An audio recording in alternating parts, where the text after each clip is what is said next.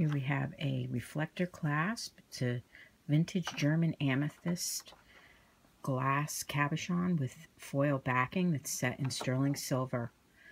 Wonderful little piece to add to one of your jewelry designs.